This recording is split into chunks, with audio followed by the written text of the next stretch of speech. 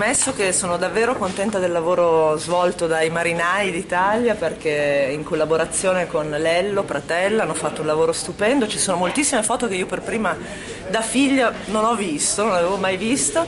Eh, mi sembra giusto, mi sembra bello, doveroso a dieci anni di distanza dalla scomparsa di Ambrogio, mi sembra bello a 41 anni dal ritorno del Giro del Mondo e nella prospettiva e nell'ottica che questa mostra legata alle persone che avevano lanciato l'idea di dedicare una via eh, di Milano a un milanese che insomma in qualche maniera aveva portato lustro alla città eh, è, nata, nata l'idea di farla. È nata l'idea di farla quindi un po' per accompagnare questa idea di dedicare una via ad Ambrogio ma devo dire che adesso vive proprio di, di vita propria. Sono stato il il portavoce della famiglia, Ambrogio aveva bisogno di una, di una voce così che diffondesse un po' quello che erano suoi, le sue imprese. È una mostra praticamente raccoglie, raccoglie ciò che è attualmente la, il mondo nautico italiano, dei navigatori.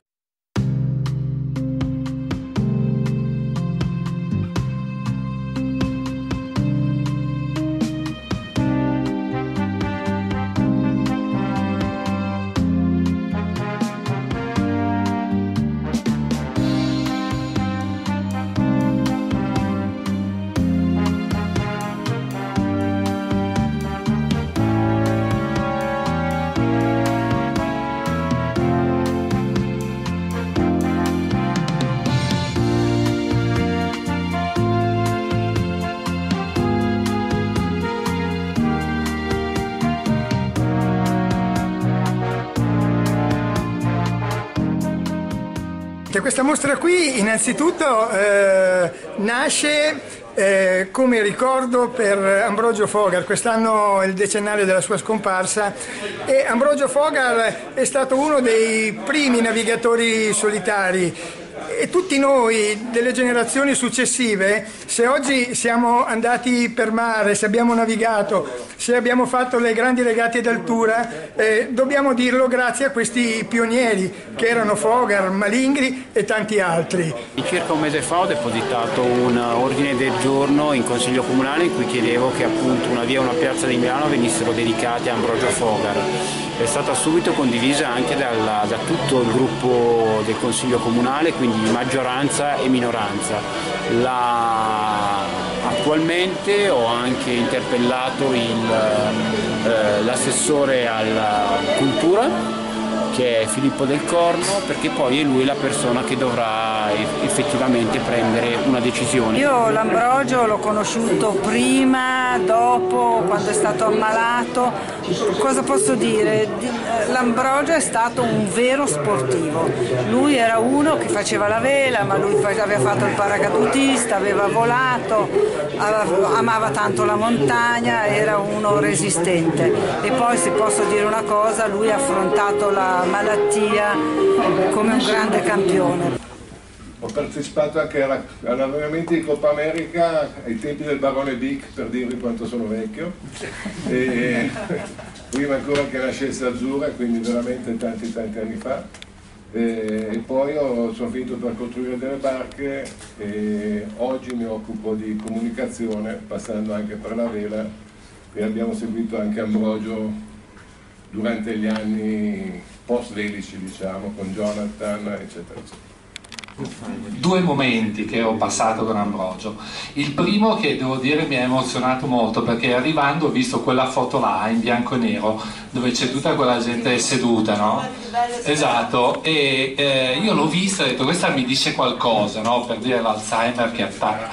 E, e dico, ah guarda la Ida, poi c'è Ambrogio di là, poi a sinistra dico ma chi è quel ragazzo lì, c'è la faccia simpatica, ero io e, e non, mi, non mi rivedevo così da 40 anni, quindi e, e, quando eravamo lì in realtà è stato l'anno in cui Ambrogio ha fatto la ossa con quel catamarano che era ormeggiato di fianco a me e che mi veniva male all'idea che partissimo insieme, nel senso che io ero su una barca piccola, ma per guardarlo dovevo sporgermi, no? E lui metteva a posto queste cose e poi credo, adesso non vorrei sbagliare, ma mi sembra che il giorno prima della partenza, lui che evidentemente faceva un freddo della Madonna perché eravamo in Inghilterra, e aveva questa tuta che non era una roba fashion, ma era la, la, la, cerata che pensava di tenere addosso per tutta la regata.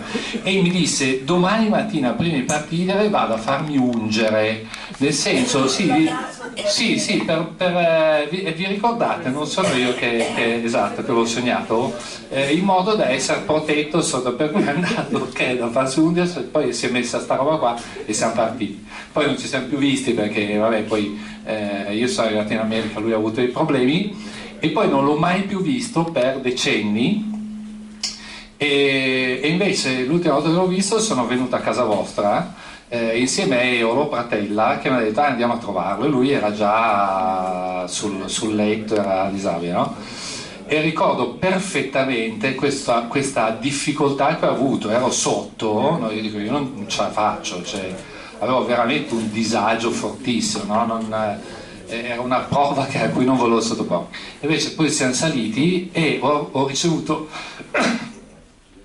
questa lezione spaventosa, no? perché lui era di una eh, serenità Ehm, ma, ma, ma, di, ma, di, più, no? Cioè io eh, davvero ero, ero, in forte difficoltà e lui era addirittura, eh, non so, eh, proprio desideroso di, di protagonismo, no? Cioè, di, eh, cioè ma, ha guardato, come dire, non menarmela, cioè non mi stare a dire come stai, parliamo, dimmi come fuori, cioè, ed è stata una lezione di vita che poi tra l'altro a me è servita moltissimo nella mia di vita ed è stata l'ultima volta che l'ho vista, straordinaria.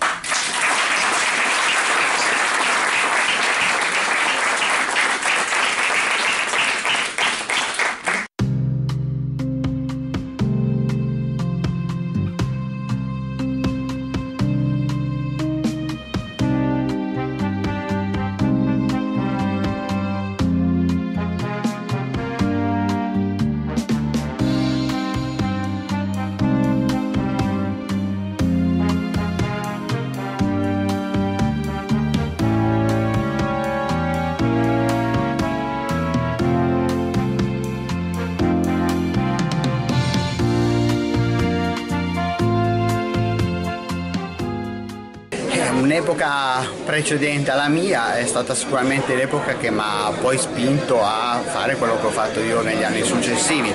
Io ero molto piccolo, andavo in barca col mio piccolo dinghy e seguivo questi, questi navigatori. Si seguivano in maniera diversa da come si seguono adesso, ormai con eh, internet, Facebook, eh, i tracker praticamente si seguono in diretta, allora si sentivano solo le loro storie dopo mesi quando tornavano e questo forse era ancora più affascinante ed è stato quello che mi ha un po' spinto a, a poi a intraprendere eh, questo tipo di navigazione, la navigazione in solitario d'alto mare. L'ultimo ricordo vero, vivo che ho di Ambrogio è quando l'ho visto nel 1992 prima che lui partisse per il suo rally.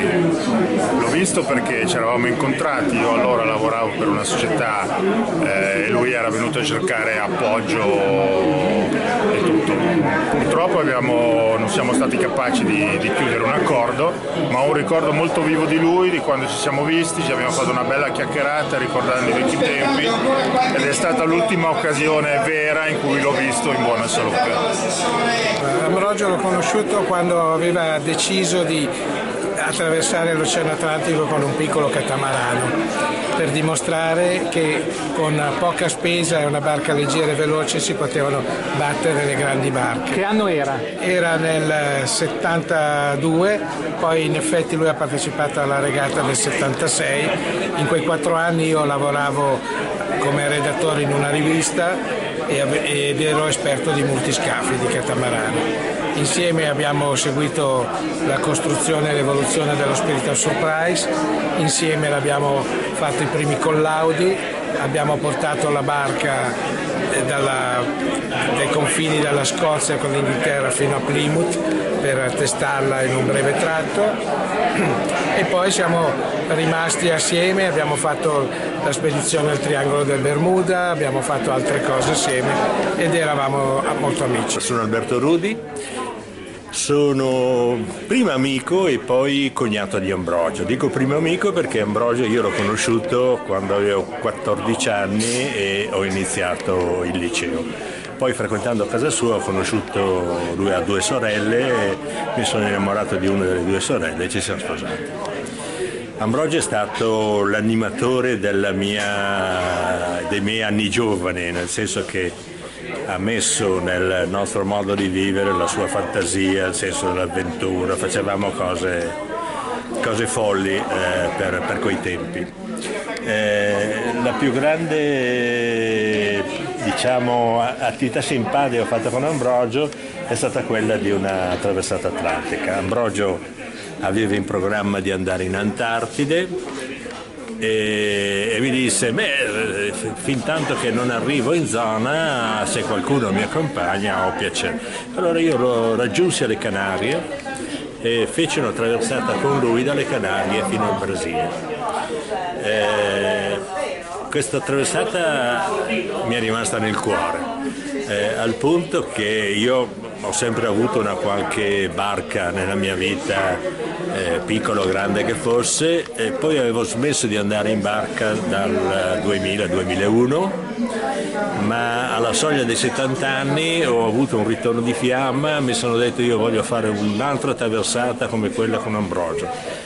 Ho comprato nel 2009 eh, un, eh, un Alberrassi, eh, me lo sono attrezzato e sono partito e ho fatto in due anni prima l'andata fino lasciando la barca Trinidad e poi tutto il ritorno facendo i Caraibi, Bahamas, eh, rientrando via Bermuda, Zorre, Lagos e poi di nuovo in Mediterraneo. Mi chiamo Luigi Franchini e sono stato compagno di avventure e disavventure di Ambrogio dai banchi della seconda liceo. Poi per tutto il resto della vita fino a quando è morto. Tutti gli anni organizziamo dei ricordi con tutti i suoi compagni di avventure, con i compagni di scuola, con i compagni di corso, di, di, di, di aviazione, di paracadutismo, di mare, e ha lasciato effettivamente in quei suoi 13 anni di immobilità completa, ha lasciato un ricordo indelebile ed è stato un esempio veramente di forza d'animo per tutti noi.